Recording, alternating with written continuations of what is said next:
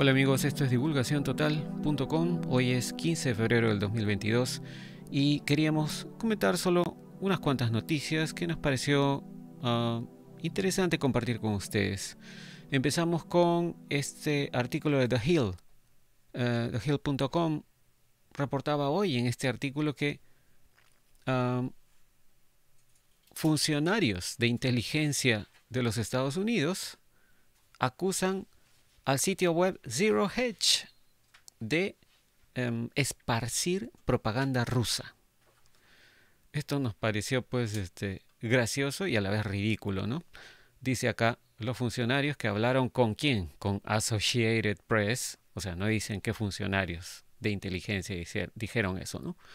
AP, la agencia de noticias AP, es la que recibió esta queja de esos supuestos funcionarios de inteligencia.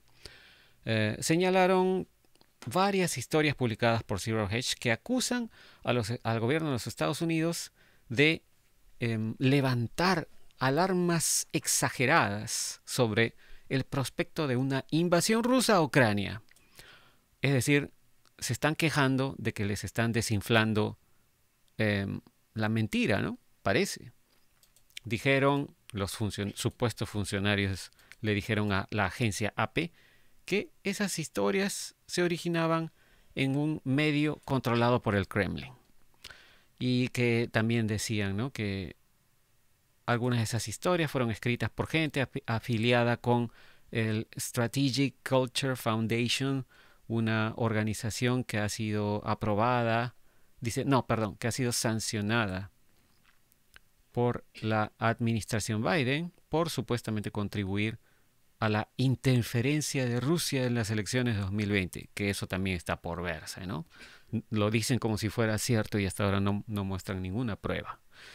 Todo esto de acuerdo a Associated Press, una de las que eh, creo que mm, una de las pocas, poquísimas agencias de noticias del mundo, que creo que se pueden contar con menos dedos de los que uno tiene en una mano, que se encargan de dar la narrativa a todo el planeta, ¿no? Ya conocemos esto, ¿no? Obviamente Zero Hedge ha, negado toda mala intención y dijo que publica una gran variedad de opiniones en su sitio web, ¿no? Así que esto, bueno, lo único que podemos decir es, parece que les está preocupando el hecho de que la gente no le presta ninguna, ninguna atención a esto de la supuesta invasión de Rusia a Ucrania. ¿no? La gente está preocupada de muchas otras cosas, como por ejemplo lo que está sacando el fiscal especial Durham, ¿no? Pero ya veremos pues qué más pasa.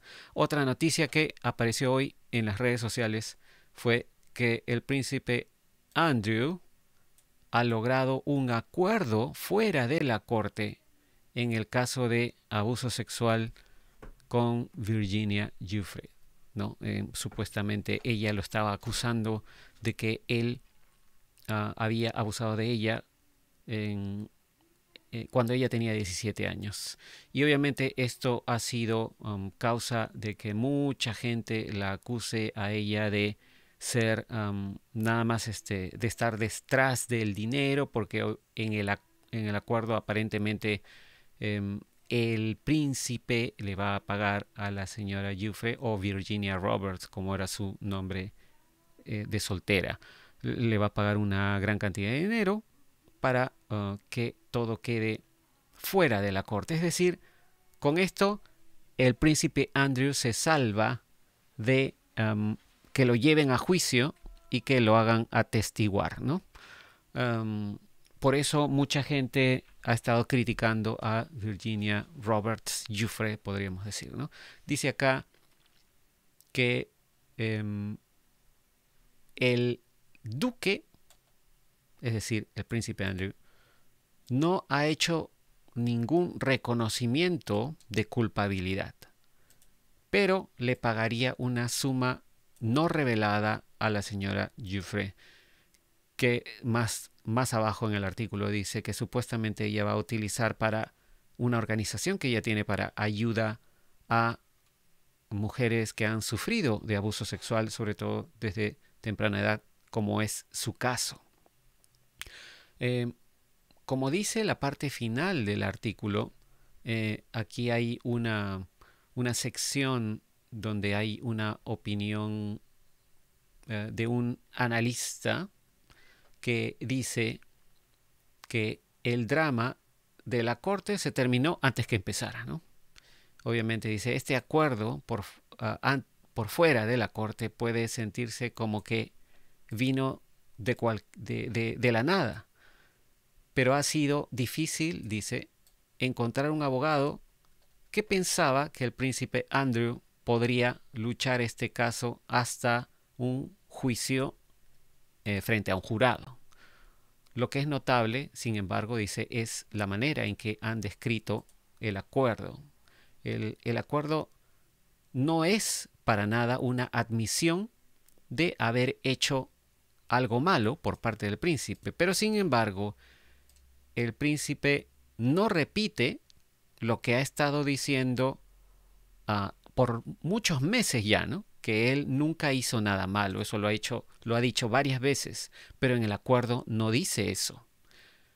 Y además también más temprano en el caso, dice, ¿no? hace un tiempo, durante el caso, él le hubiera, dice, le había permitido, perdón, le había permitido a sus abogados acusar a la señora Giuffre de iniciar una demanda legal sin base, solamente para lograr que le paguen algo de dinero, ¿no? A sus expensas. Eso es lo que dijo el príncipe anteriormente. Y a ella, a, Virginia Giuffre, ya la habían acusado, acusado, de hacer mucho dinero de sus ah, denuncias contra Epstein. Y por eso decían que ella tenía un motivo para lanzar como decían los abogados del príncipe, ¿no? Eh, demandas frívolas en contra de él. Pero todo eso ya no existe, dice este analista, ¿no? Es decir, y, nunca se va a hablar más del caso porque están llegando a un acuerdo. Ya, obviamente, durante el acuerdo, también una de las cláusulas es que ya nadie más dice nada del asunto, ¿no? En, dice, en una oración de 32 palabras, se borró todo lo que dijo el príncipe anteriormente. Y es más, ahora dice que eh, el príncipe en la declaración incluso dice que eh, reconoce que Virginia Giuffre ha sido una víctima de abuso y que su carácter no puede ser cuestionado. Esto es un giro de 180 grados, obviamente, a lo que el príncipe ha estado diciendo anteriormente, ¿no?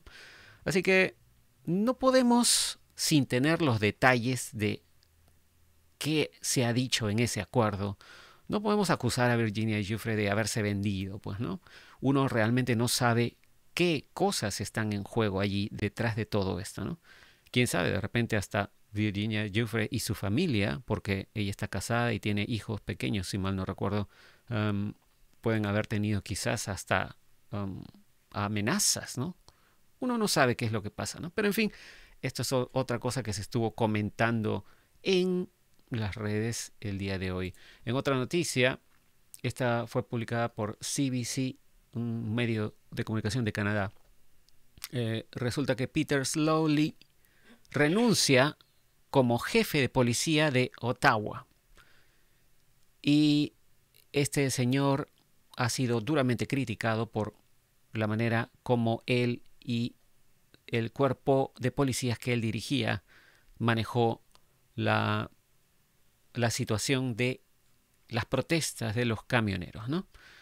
Así que, bueno, aparentemente fue duramente criticado porque no pudo hacer nada para detener las protestas y ahora se va, se va renunciando. Y una última cosa que queríamos comentarles. Resulta que Liz Willis, ah, para los que no la conozcan, Liz Willis es uh, una de las presentadoras principales de uh, RSBN, um, Right Side Broadcasting Network. Y ella publicó esta captura de pantalla el día de hoy, en donde se puede ver, seguramente lo ha tomado en su propio teléfono, ¿no?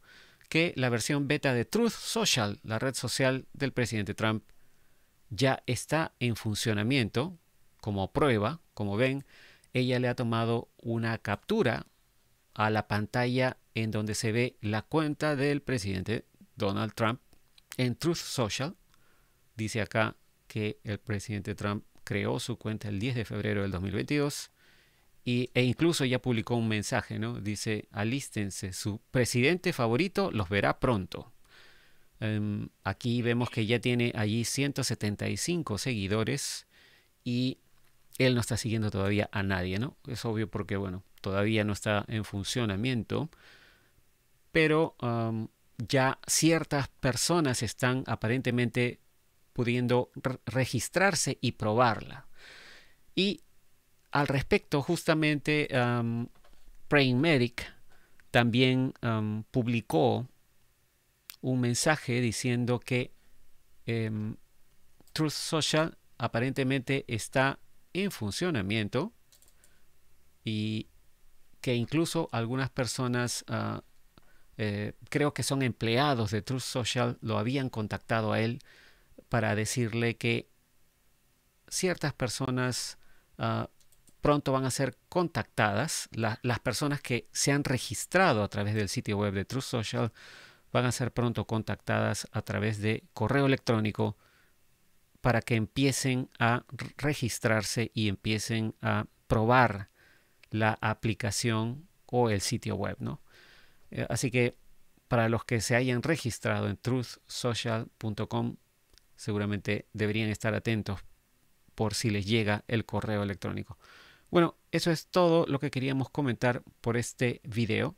Vamos a ver qué más, qué otras noticias rápidas. Vamos a tratar de darles noticias rápidas si se puede a diario y, así en un formato corto y rápido para que estén al tanto de lo que está ocurriendo en las redes sociales, especialmente en los Estados Unidos. Muchas gracias por su atención. Nos comunicaremos en el próximo video. Cambio fuera.